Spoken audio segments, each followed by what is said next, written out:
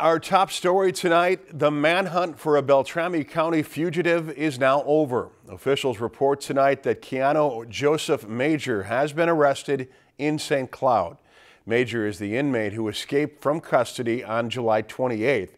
He had eluded authorities' attempts to capture him since then, but Beltrami County Chief Deputy uh, Ernie Beitel announced today in a press release about an hour and a half ago that the that Major has been apprehended in St. Cloud.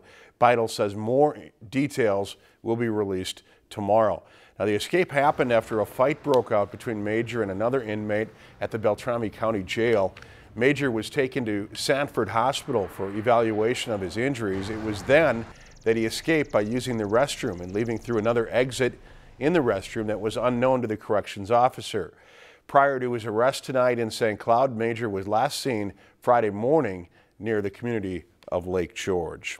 If you've enjoyed this segment of Lakeland News, please consider making a tax-deductible contribution to Lakeland Public Television.